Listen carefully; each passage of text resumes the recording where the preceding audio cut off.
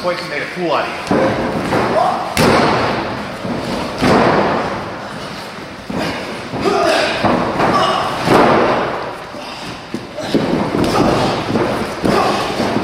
Come on.